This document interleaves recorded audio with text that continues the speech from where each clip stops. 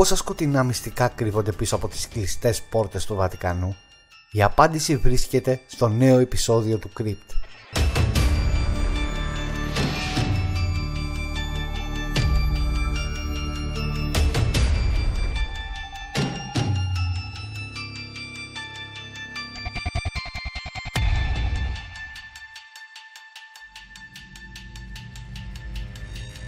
Το Βατικανό από την ίδρυσή του είναι ένα μέρος που συνοδεύεται από αρκετές θεωρίες συνωμοσίας σχετικά με τη δράση του η οποία είναι κρυφή από τα μάτια των πιστών.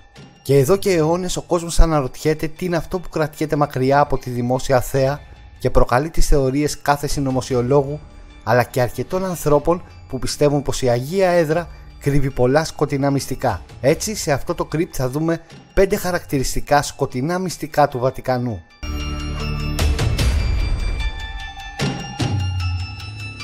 Έπειτα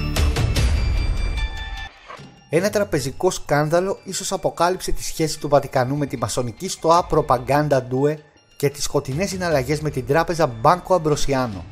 Η τράπεζα του Βατικανού διατηρούσε σημαντικό ποσοστό μετοχών στην Αμπροσιάνο και λέγεται πως πριν τη χρεοκοπία της τράπεζας, μέσα από τον Πάπα τον Ιωάννη τον Πρώτο υπήρχαν υπόγειες διαδρομές χρημάτων προς τις Ηνωμένες Πολιτείες. Η υπόθεση άρχισε να προβληματίζει ακόμα περισσότερο την Ιταλία όταν το 1981 η αστυνομία εισέβαλε στα γραφεία της μασονικής ΑΣ Propaganda Due για να συλλάβει τον επικεφαλή της Λίτσιο Τζέλι με την κατηγορία ότι συμμετείχε στην υπόθεση χρεοκοπίας της τράπεζας επενδύοντας σε αυτήν χρήματα που προέρχονταν από τη δράση της Ιταλικής μαφίας. Σύμφωνα με αυτά τα δεδομένα φαίνεται πως ίσως το Βατικανό διατηρούσε και αυτό κρυφές σχέσεις με τη μαφία αλλά και τη μασονική στοά Propaganda Due. Όπως είχαμε αναφέρει ξανά σε ένα επεισόδιο σχετικά με τους χρονοταξιδιώτες, το 1992 ο μοναχός Ερνέτη υποστήριξε πως ο Γάλλος θεολόγος Φρανσουά Μπρούν ανακάλυψε τη δεκαετία του 50 μαζί με μια ομάδα επιστημόνων μια χρονομηχανή που θα έφερνε την επανάσταση στην έρευνα των ιστορικών γεγονότων, το αποκαλούμενο Chronovisor.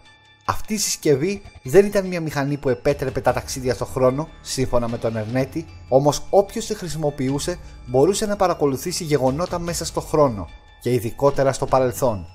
Ο μοναχός Ερνέτη, μάλιστα, περιέγραψε σκηνές της αρχαίας Ρώμης, λόγους του Ναπολέοντα και ακόμα και την ίδια τη σταύρωση του Ιησού. Ο μοναχός βέβαια δεν άφησε ποτέ κανέναν να δει από κοντά το χρονοβάιζορ, έστω και αν ισχυριζόταν μέχρι και το θάνατό του πως είχε τη μηχανή στην κατοχή του.